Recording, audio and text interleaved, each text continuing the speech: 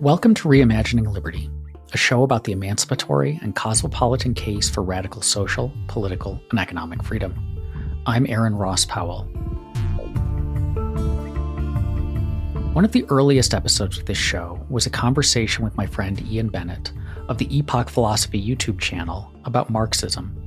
It's one of my favorite reimagining liberties so far, not just because Ian is tremendously smart and I learn a lot from him, but because it's the kind of conversation I find particularly valuable. A dive into a set of ideas I have many disagreements with, but are influential, interesting, and worth understanding. That's why I'm so happy to have Ian back today to talk about the Frankfurt School, critical theory, and cultural Marxism.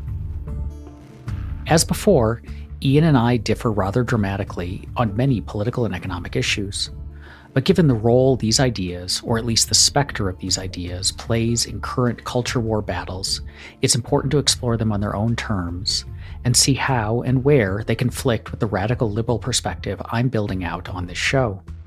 And if you come away interested in understanding critical theory more thoroughly than we have time for in an hour long podcast, I encourage you to check out Epoch Philosophy on YouTube. Ian creates short explainers on all the important ideas and thinkers, and does so with remarkable clarity and sophistication.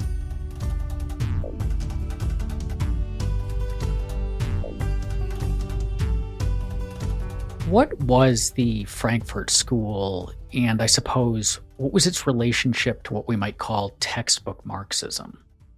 The Frankfurt School was probably, I guess, the best way you could say, uh, in simple terms, was a little bit more of an eclectic um, school of Marxist thinkers. Um, of course, they're, they were um, a bit of an offshoot from what we would think of Marxism proper, right? And uh, maybe the best way to visualize this was Marxism being the sort of cold calculus of economic systems and stuff of that nature, while the Frankfurt School was a little bit more concerned with inner subjectivity, right? The inner workings of self and art and creativity, and the more elastic nature of society, I suppose. Um, so they um, essentially were kind of like a, a big molding of what we would uh, what we describe as as German idealism, roughly, um, Marxism, and then new emerging psychoanalysis.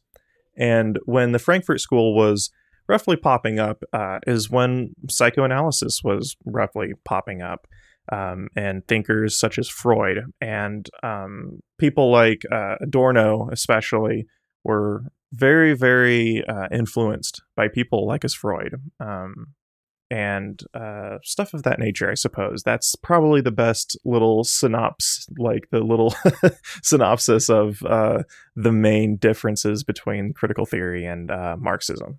Uh, so it sounds like it would be fair to say that Marxism pre Frankfurt School was about analyzing class and economy, production, and so on, whereas the Frankfurt School pivoted that to psychology and culture.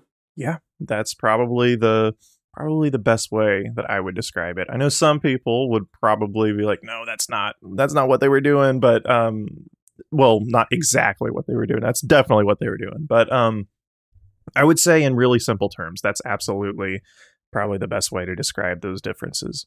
So why the move to culture then and why specifically within a Marxist context or at least Marxist influence. because when we think of Marxism and we we look at the works of Karl Marx and as we discussed it in in the podcast I did with you on Marxism a while back that seems to be an analysis of the structural features of a society the economic structural features of a society and it's not clear how culture and psychology fit into that kind of analysis right that's definitely w- within Marxism proper, as as we think of it. There really isn't much of uh, a psychology, if you will, um, a sort of inner subjective uh, kind of process for analyzing self as perhaps a more isolated phenomenon. Um, it's certainly the inklings were there, like a lot of writing with Marx and Engels uh, specifically, and how we look at uh, more metaphysical phenomenon. Um, that's a bit. I, I, see uh, some inklings there with Marx and Engels, but definitely as a whole, you don't see that much within Marxism proper so I, I, guess for the the reasoning and the the purpose for this kind of offshoot, there, there's a couple reasons, right? Like one, we can say, you know, is philosophical, right? Abstractly, they're just progressing through finding little holes within some of the older dialogue. But I don't.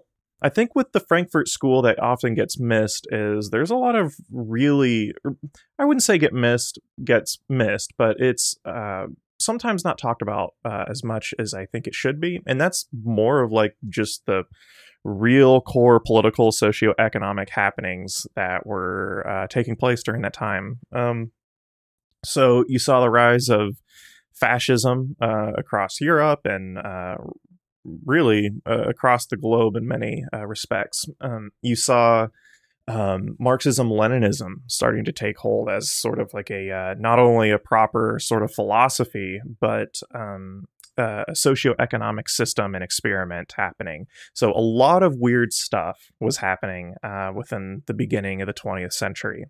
And the Frankfurt School, I think, was very, very concerned, even on not just you know philosophical abstract levels but very material as well and that that often gets missed and I, I think it it makes sense for the Frankfurt School to just pop up at kind of like the early 20th century because it, it was just such a heavy click of like a new era. Just for some weird reason i feel like i don't know maybe maybe you agree disagree uh, I, a lot of my background is history.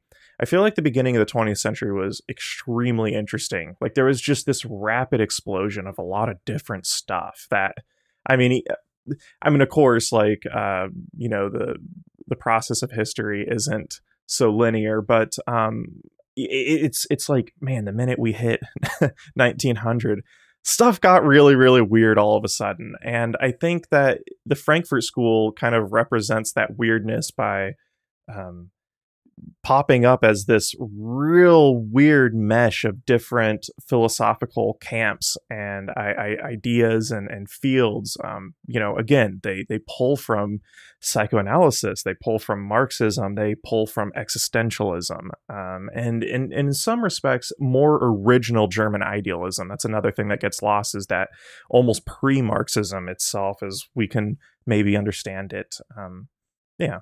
Can you give us the thumbnail sketch of what German idealism is?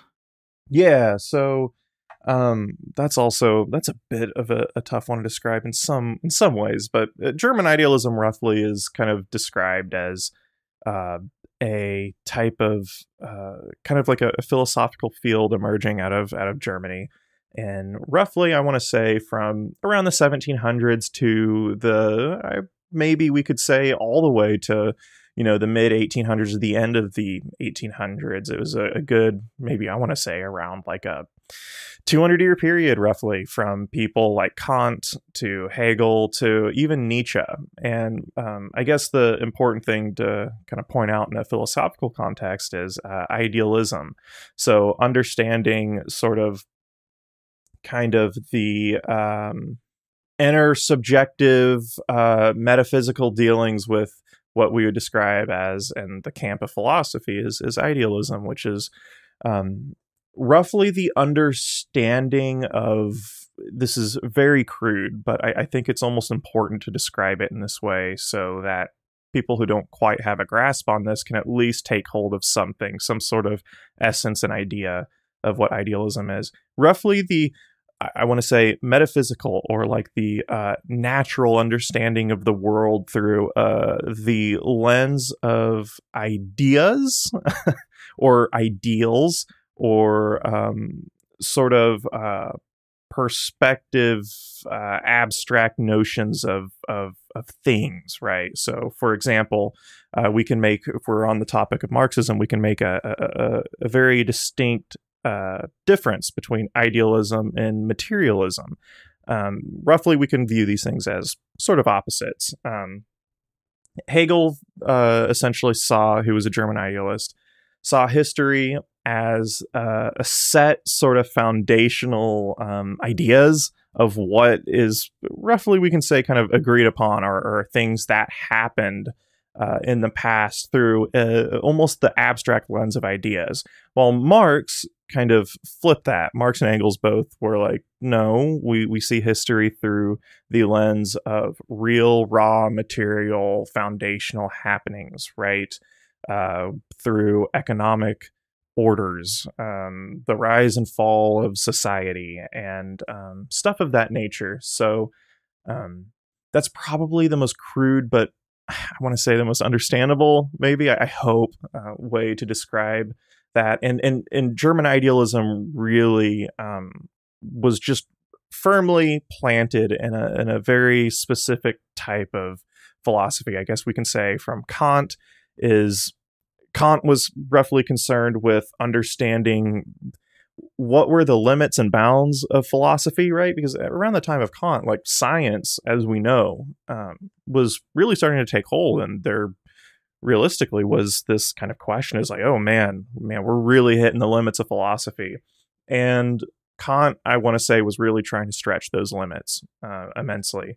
Hegel, um, kind of, definitely influenced by Kant, but definitely took a really weird approach through more um, a metaphysical uh, endeavor into philosophy. Kant wasn't so metaphysical in many ways, at least like he wanted to understand um, what we could see as nature. But a lot of, you know, obviously, like with Kant, I think this is something that even a lot of people know that don't really study philosophy, but Kant thought that just there wasn't a lot that we could know. There was things outside of our scope of grasp and understanding, and you know, there's reality uh, that we don't understand roughly, and he called that the noumena. And eh, Hegel, Hegel kind of, I want to say, probably kind of disagreed a little bit. He's like, no, we can understand a lot more about reality and and, and nature.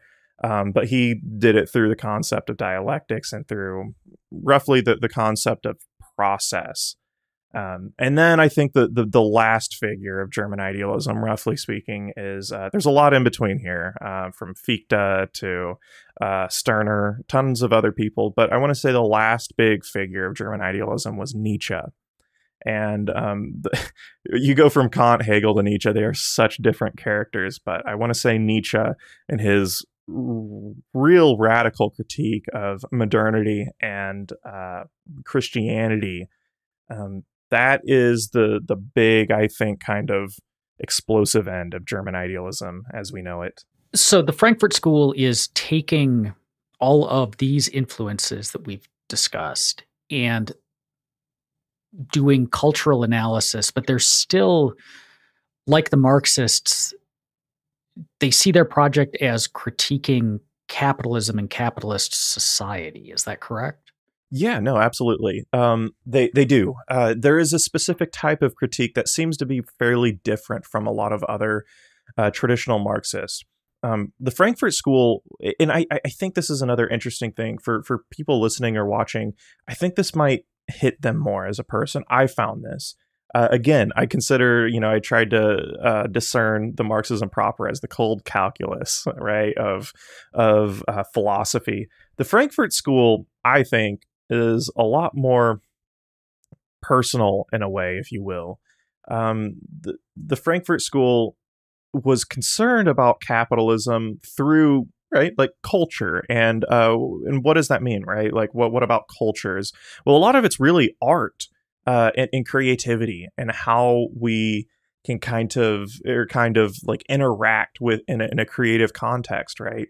So I, I, think the, the the real bedrock the kind of beginning of critical theory in, in the frankfurt schools roughly through i want to say probably walter benjamin um, and he wrote an essay that was uh, very popular. Um, i always kind of butcher this at first the um, it is the the work of art in the age of mechanical reproduction, and that's one of his most probably his most popular essay. And he he's Benjamin was very concerned at uh, the the new prospect of, of a mechanical type of capitalism that is so hinged upon production, right? Where we need to pump things out for profit, for for productivity's sake.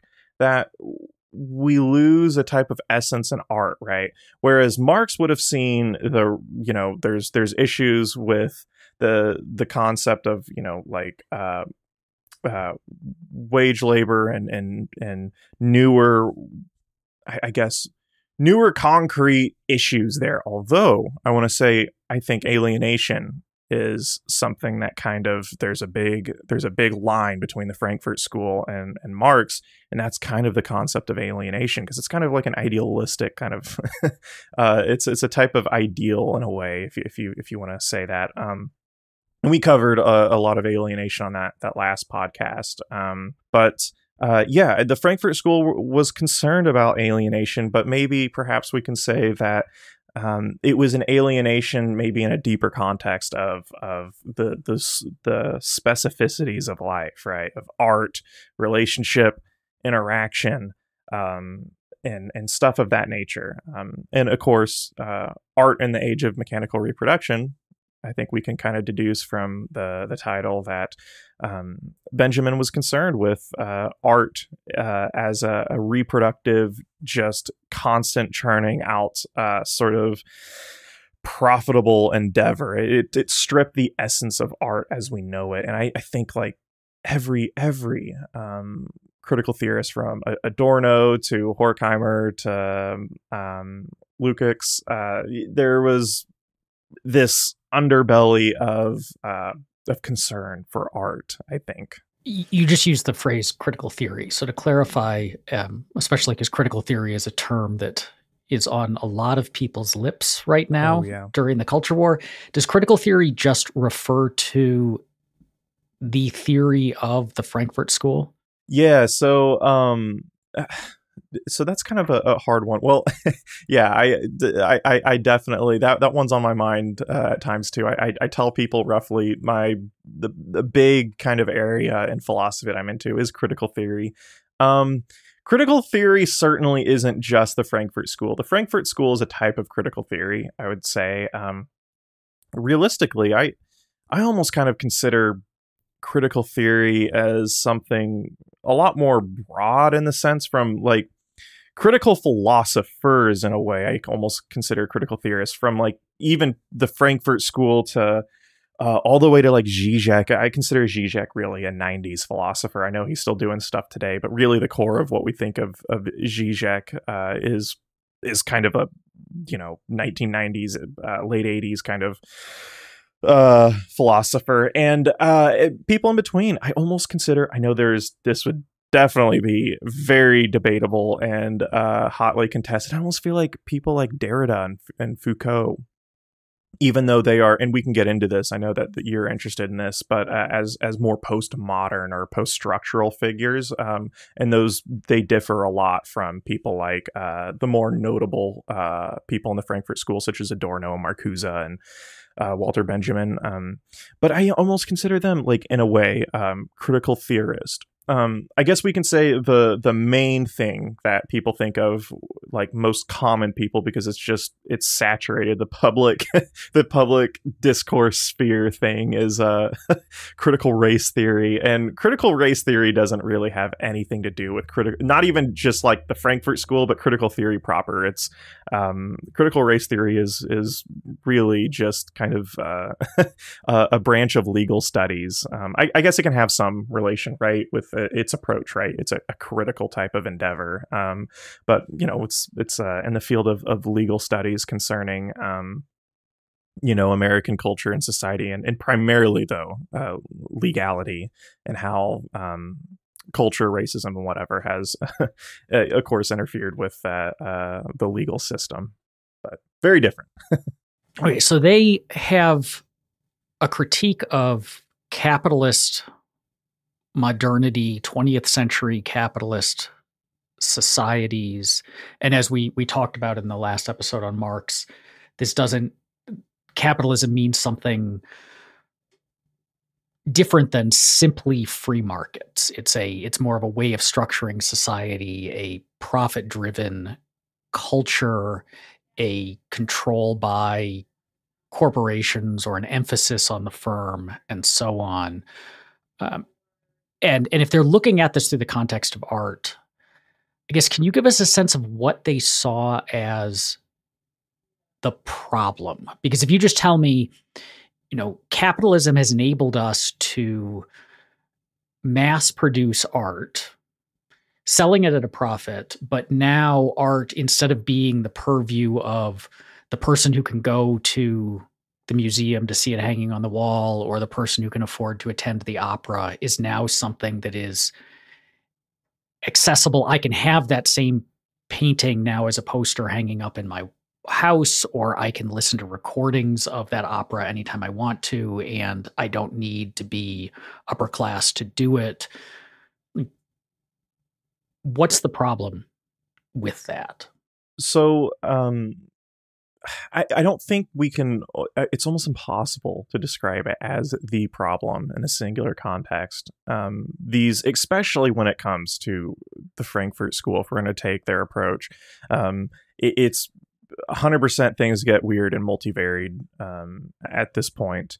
Um, I mean, there's a, a, number of problems, right? We can look at the if we're, if we're pulling from a lot of sort of Marxian perspectives, there is the problem of just raw materiality, right? Where there is this huge difference in kind of um, material. Um, oh, like uh, uh, ownership, right? Like uh, the ownership of property and, and wealth. There's such a, a, a, wide stratification of the the poor and, and the rich, um, and and especially during the time. I mean, we're we arguably, I think this is the interesting thing. I'm trying to compare this to make this easier for people to to our current, uh, you know, point in time. I think almost wealth inequality in today is actually worse. I think, like technically speaking, like like uh like from the data itself, I think it might be worse today. But I think back in the the uh the the time of the 1800s and the the Industrial Revolution, it was more felt. Right, it may not have been quite as wide, but certainly the effects of that inequality were much larger uh, from the time of factory workers and and um, factory owners or capitalists, if you will. Um, so there is the material issue, right, where uh, I think a lot of Marxists were concerned with like capitalism just isn't able to function um, uh, efficiently, like it just in a way, like as a way to um, to kind of organize and manage society, it's really insufficient uh, at um, kind of maintaining a sort of um, uh, structural um, i want to say uh, con- like almost a concreteness like a way to gauge society as something that's reliable in a way uh, there's a lot of ebbs and flows that are on the the basis of, of markets and, and resource extraction uh, and it's essentially built upon the idea uh, or not even really the idea, the foundation of infinite growth within a world that has finite materials. Um, so that's the and, and and roughly the Frankfurt School they they bring that with them. That is the I think that is a, an approach and a critique of capitalism that they still hold firm in their heart. Then there's the the the sort of the again the intersubjective problem, the the cultural problem, which is what the Frankfurt School is more known for. Uh, that being you know the the kind of effect that it, capitalism has on self. We can see the changing of values, right? Um, um, we can see um, how and this is when it gets real interesting with like people like Adorno and uh, you know later critical theorists is that they're they're also concerned with like desire, right? Desire philosophers have been concerned with desire forever, uh, and and Freud really was concerned with desire. Um, and and kind of what that means and how we deal with des- uh, desire, right? Uh, you know, uh, liberal and, and, modern philosophers were very concerned with that, but I, I, think stuff starts really changing when you get to Freud as Freud sees kind of desire as he's kind of one of the first theorists that um, kind of says that like we desire things, but in order for us to live in a society, we suppress those desires. And that's where Adorno and and people like the Frankfurt School really come in with that that idea is how capitalism essentially forces us to uh, really like really suppress these sort of human desires, right? And you got to think about during the time of like, uh, you know, like the early 20th century, a lot of uh, sexism, uh, a lot of, uh, you know, different types of, you know, in ways stuff we're still dealing with today, but maybe in in a more concrete way of uh, xenophobia, stuff of that nature, where um, there is you know not only the the pre-modern um, sort of religious or, or, ideal foundation of those uh, isms, but now capitalism is is really kind of co-opting that uh, sort of ideological practice and uh, marketing it and uh, pushing these sort of uh, foundational beliefs into the the sort of uh,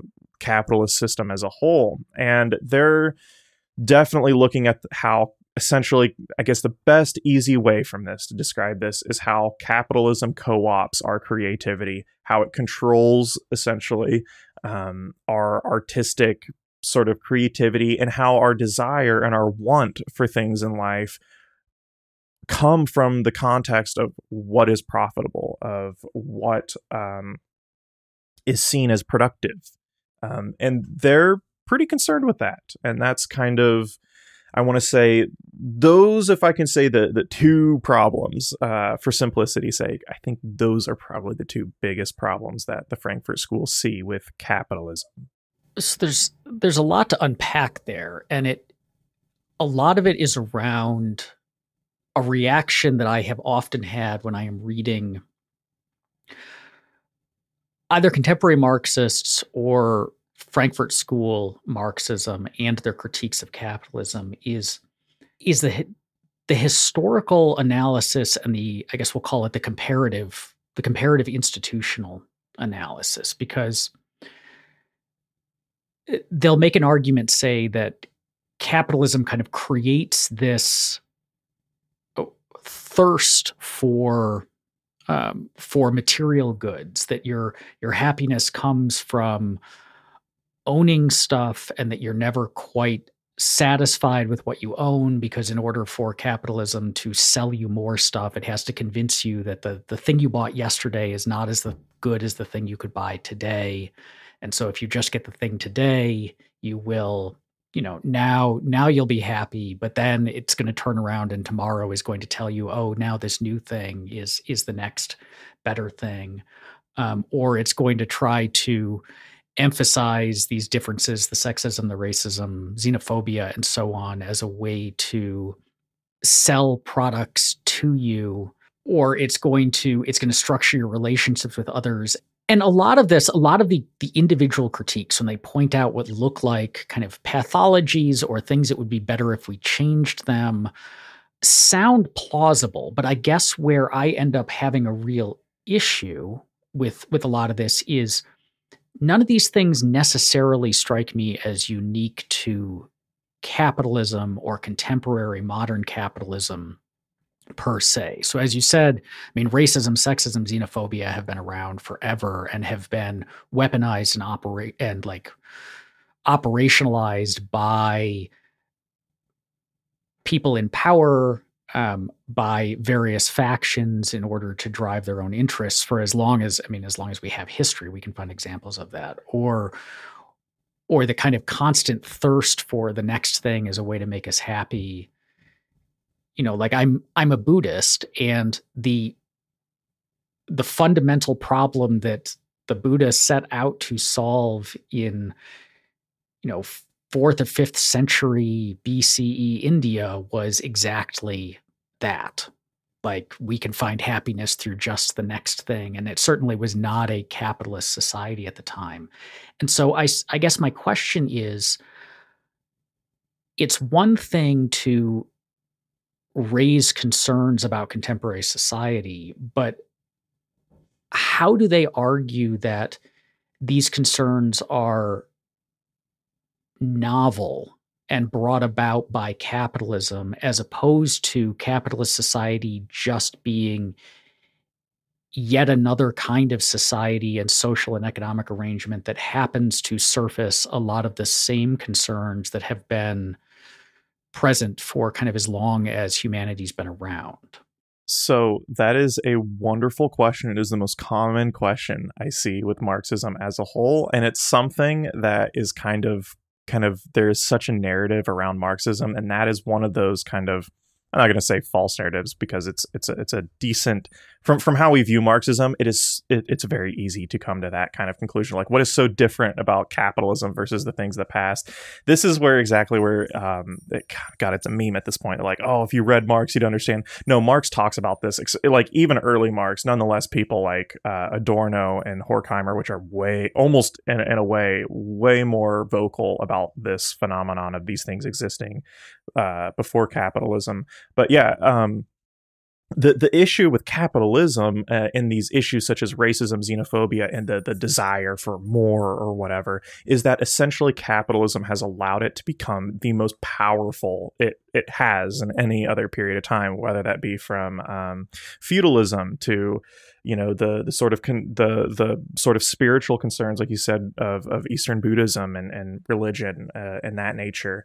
And um, it's not that these things are innate and specific to capitalism, but that the uh, the concentration of those issues are at almost the the largest it's ever been, if that makes sense. Um, at least in their eyes, I think that's how they they see it. But this is also happening at a time when you know the, the rise of global capitalism is happening at a time when we have seen movements for racial justice. We have seen it certainly has not been a it's not been a steady line of progress, but we have seen decreases in um, racist and sexist attitudes, the rise of women's rights, the civil rights movement.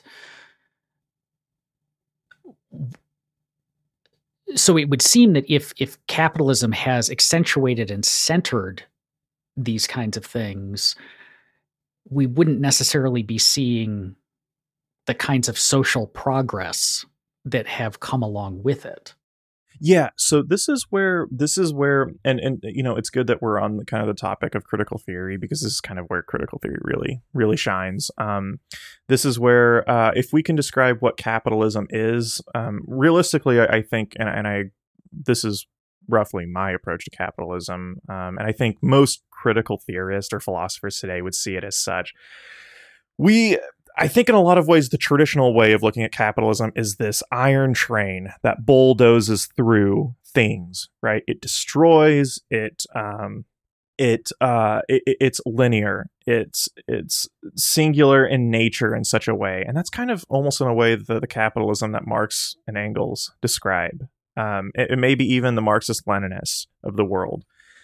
And then there's the capitalism, which I think is more I think probably more accurate. And that's the living, breathing entity that is flexible, that changes, that uh, is all encompassing and uh, saturating of ideology, of the different types of things. It's adaptable and it changes itself in accordance to what's happening in culture and stuff. And I think that that's realistically, I think that is the the the most realistic uh, description of what we think capitalism is. And um, so I, I, think it's that um, I think it's that that here where critical theorists kind of that's where we start getting that sort of foundational idea of of, of capitalism and it being like this uh, breathing entity that uh, changes and, and evolves and such.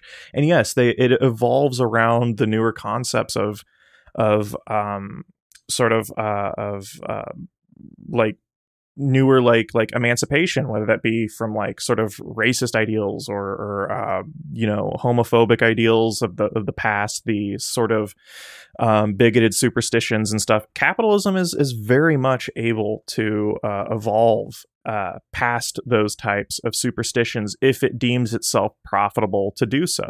Um, and i think that's realistically, it's not that capitalism is an inherently racist or, or uh, it, it, people do make this idea. And I, I, I, think, like, I see the approach here, like, because I, I can see how capitalism itself in a material context can reinforce a lot of prior racist systems or like the uh, a racist kind of effect of like material um, what can we say uh, inadequacy or, or, like wealth divides between you know black and white people.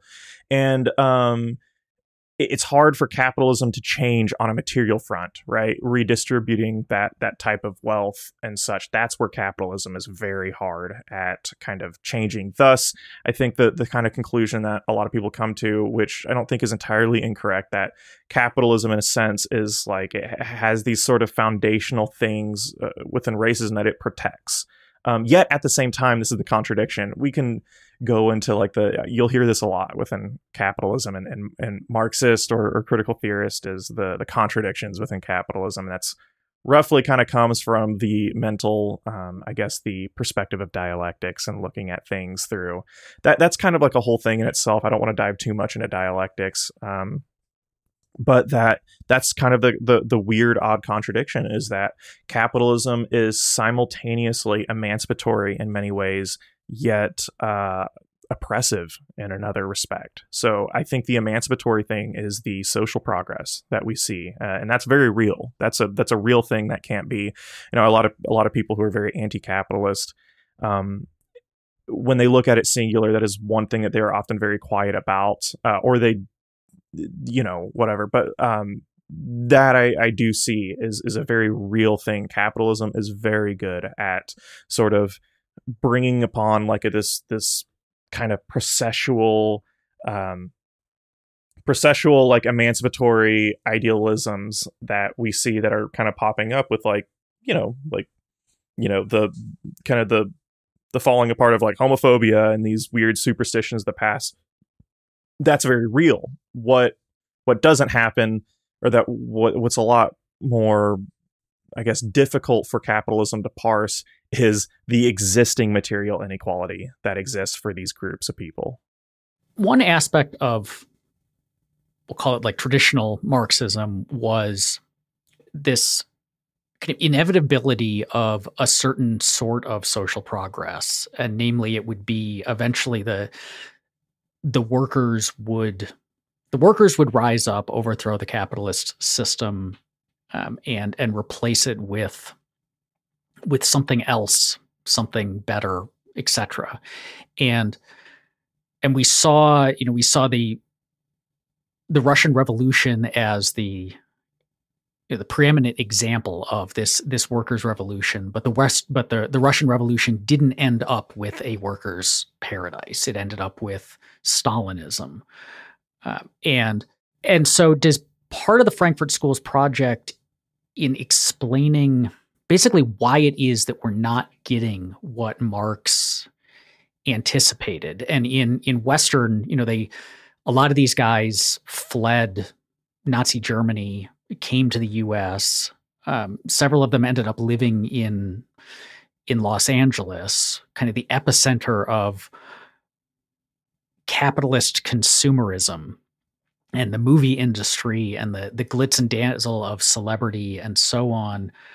Um, and and so were they wrestling with the fact that it seemed that the workers didn't want what Marx was selling and seemed happy enough with getting all of this stuff with the the materialism with the wage labor and so on like what yeah. is that part of the cultural analysis so, is basically the culture wasn't embracing what we were told the workers actually wanted.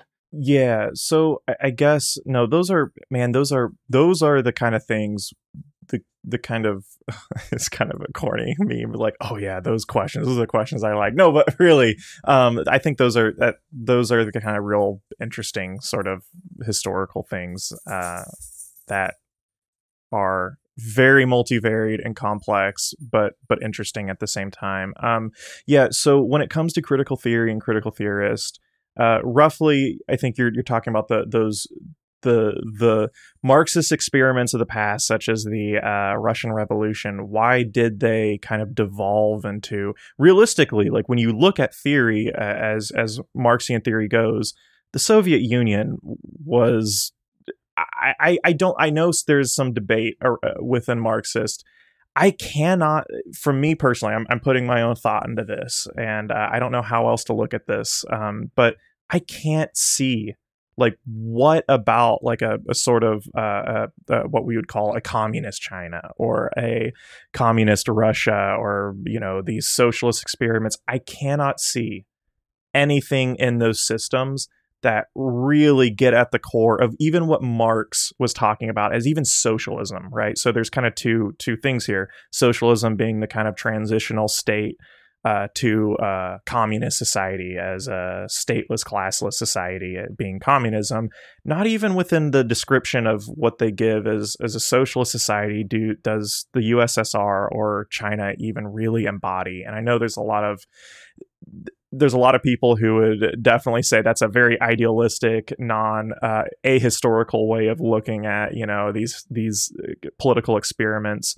Um, but I guess since we're talking about critical theory, we can kind of lean into that. That's roughly the kind of the kind of critique that uh, the Frankfurt School had of Marxism Leninism. They were pretty critical of Marxism Leninism as a whole, and um, I think that was the I think that is uh, that is a very foundational question, right? I think earlier I said that like, critical theorists are also concerned about the the political happenings uh, that are happening throughout Europe. I think that is one of the things that they they saw. It's like why is the USSR turning out exactly as it is? Um, and the, the there I think there's there's a lot of different things, right? Um, one, um, I think there probably is like the this like you were saying the intersubjective sort of happenings of like workers almost in a way don't want what they really want and you see in later philosophy that's really explored um, like later in the 20th century that's where that's where a lot of other philosophers like really hone in on that idea. We're like man they the world really we think that we want what we often you know like we, we don't really want the things we think we want. But back to critical theory as a whole that is kind of a central question um, and and then the the other sort of glaring dilemma here is the kind of all-encompassing power dynamics of geopolitics at the time. Um, this is something I, I, I kind of try to explain to people, not as like an like uh, what would we say, like an excuse of uh, a lot of the, the terrible, really actually pretty terrible things that happened in uh, the USSR, um, China, um, in states such as those, but um, we have to look at these things as geopolitics as something very, very all encompassing and, and, complex. And uh, at the time, you, you have to look at these these states that popped up at, at a time where you know capitalist trade was starting to expand all throughout the globe, and uh, we really saw heavy-handed imperialism um, more so in a way than what we see today. We see imperialism in, in a much more elastic and kind of uh, cooperational extent today, right? Within within markets and global markets and and such. But in the past, it was a lot more heavy-handed, right? Like, uh, I mean, essentially, just countries would invade other countries and essentially enslave like entire populations. You saw like the Dutch do that in Africa. You saw, I mean, all kinds of countries did that to Africa. Um, the oceanic region you saw that. Um, and so when you look at a country such as Russia and places such as China, there was an actual warlike response in a way from the West, because essentially the, the, the ideological pretense of those revolutions was to, in a way, kind of decommodify how we deal with existing commodities and trade. Right? They were inherently against the the kind of capitalist practice of of international trade in that in that context. And so um, that was something that other countries would not accept. If if we look at the uh, Marxist notion, I think this is correct. I, I really do. Um, I know there's some debate here and there, but I, I think this is the, the correct way to look at it. The the state and corporate interests are not separate. They're not really a separate entity. This is the mistake. A lot of people like you'll see this on the right a lot. This massive just it's a lie that like Marxists love the state.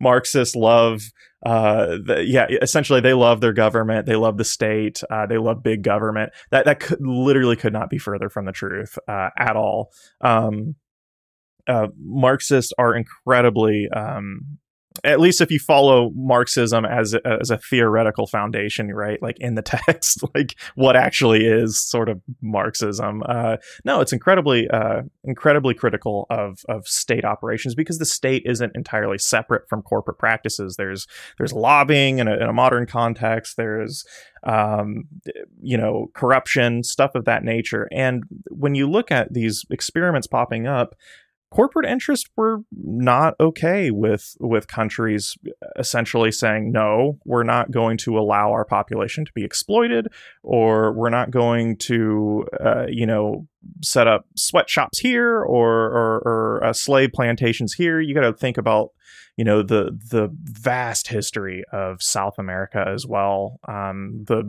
the millions upon millions of dollars that the United States was pumping into, uh, you know, right wing opposition. Really, realistically though, fascist kind of military dictatorships that resulted in, in the thousands of lives being lost uh, throughout um, South America and that kind of uh, and you know that political battle. It, the same kind of response i think is of the real like the ussr and china. It, it's that i think in such a way there is the response that workers don't actually want what they think they want in a lot of ways. I think that is a very true phenomenon um, that i think we saw pop up. And then the other one is true is that these states had to kind of resort, I don't even say had to, because that's also very that's also a very debatable thing. But I, I think what has happened, states resorted into uh, a type of very autocratic, authoritarian um, the society and social structuring because in a way their logic they had to because Europe,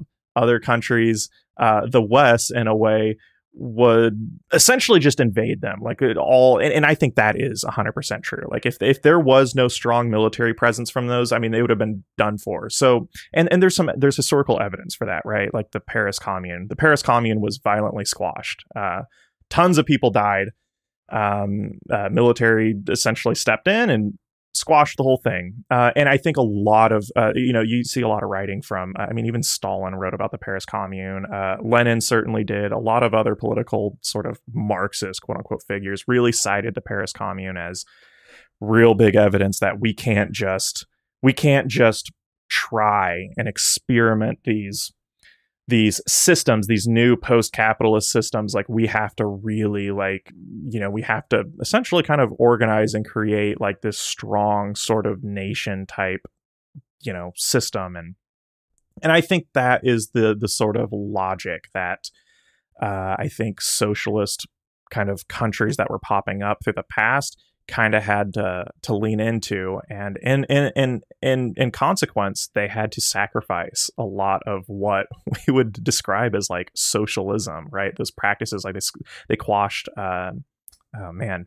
I mean they quashed uh, labor unions all over. I'm, I'm, sure you're familiar with that as well. They quashed labor unions uh, all kinds of things that were were um, very like very antithetical to to, to socialism and Marxism. And it, it, I think this is um, I think the I think the I think the result that most I think that how we should think about this is that these sort of ideological ideals and, and, these experiments that are coming out are way more complex than even what Marxists or or or what um, I want to say maybe capitalists or, or uh, what what would I almost don't even know to describe like the the maybe liberals or the the sort of ideological camps of of who who kind of champion capitalism or the ideological camps that champion Marxism or or socialism. Sorry, um, um, things are a lot more complex than I think either one often want to admit.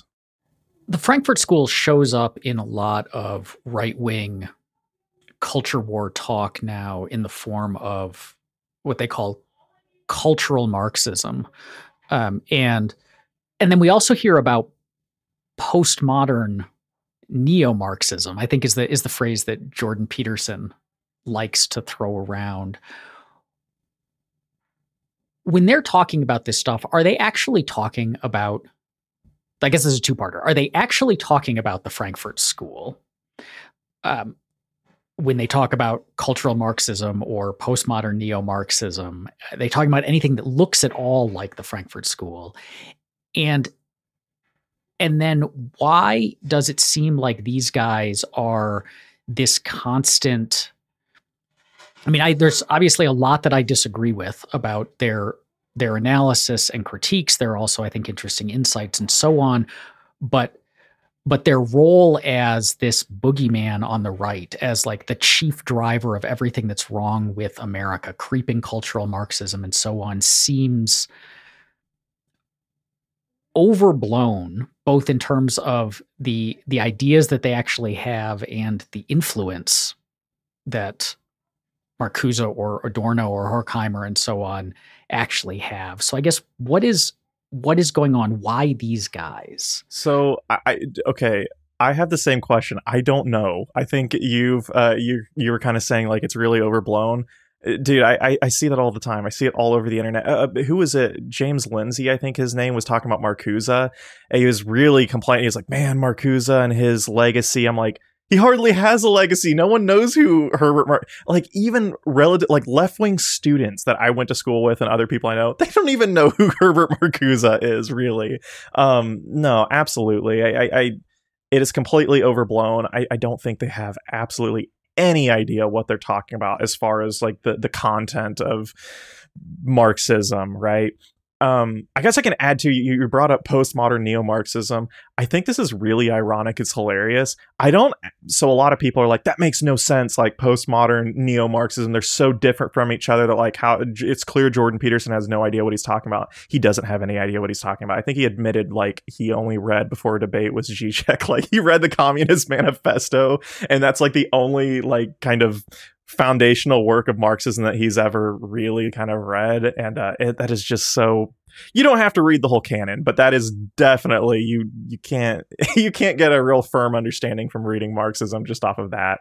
Um, that said, I think it's kind of ironic because I don't think like like the Frankfurt School, in a way, kind of a little bit is. I can kind of see how you know you can kind of look at the Frankfurt School and kind of see this sort of kind of postmodern neo-marxist kind of thing. I primarily not postmodern. Postmodern definitely i don't the frankfurt school almost everyone in the frankfurt school really is not a postmodernist uh, whatsoever. They still see philosophy and, and we can describe postmodernism in a philo- philosophical context as like um in the way that like um modernist philosophers still see philosophy as like the the long linear teleological project of philosophy that builds upon itself and that uh, kind of has these set goals of of understanding reality or understanding uh, our inner subjectivity or whatever. And that's the frankfurt school. The frankfurt school are not postmodernists and, and they they have like set established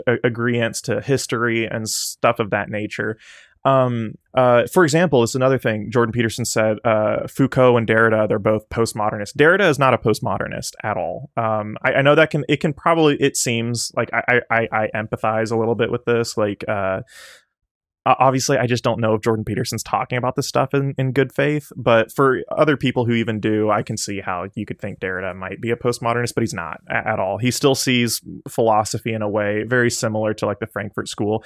Foucault was certainly a postmodernist though um, where um, sort of the process of, of history and these ideals being some like linked structural phenomenon that are are interconnected is is not apparent to Foucault whatsoever. And in that respect, we can kind of see this sort of postmodern phenomenon exist. So the Frankfurt School isn't postmodernist at all. They are neo-Marxist. I think you could describe them. They are a type of newer sort of of Marxism that is emerging. Um, and uh, like you said, cultural Marxism. I think that's probably a more accurate term, right? I, I know that uh, other people have said, well, it's clear they don't know what they're talking about because there is no cultural Marxism. Yeah, I think if you're talking about like the Marxism of you know Marx and Engels, right, um, in the 1800s, certainly, I don't. There's not really any of that, but I think in the Frankfurt School, I think we could describe it as that. I don't think that's a particularly inaccurate thing to say that like the Frankfurt School is a type of cultural Marxism, but like you were saying, the, the, the Frankfurt School has had real minimal influence on on actual sort of left wing. I wouldn't say left wing thought as thought exists, but as like something that captures real mainstream left wing thought, even though there isn't. I, I don't think there's really a mainstream like left. It's just I know there's right wingers would certainly think so, but I I don't. I, there's the one. There's not a lot of power, right? Political power on the left. It just I, I think even you've uh, I think you've I think you're even familiar with that as well. It's like there's not really a lot of political power that the left has ever really held. Uh, maybe in the past, during the times of like labor unions, maybe we can kind of see a more left leaning thing. But I think in a lot of ways, right wing people aren't.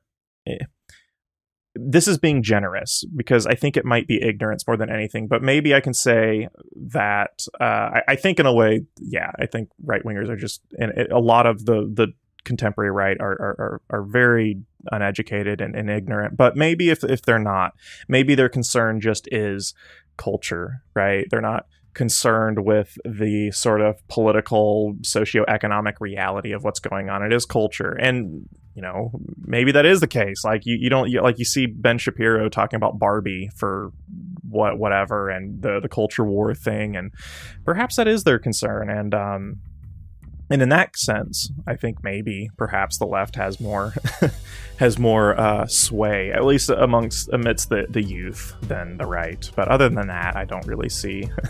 I see the right as a as an inherently more powerful entity than the left. Thank you for listening to Reimagining Liberty. If you like the show and want to support it, head to reimaginingliberty.com to learn more. You'll get early access to all my essays, as well as be able to join the Reimagining Liberty Discord community and book club. That's reimaginingliberty.com, or look for the link in the show notes. Talk to you soon.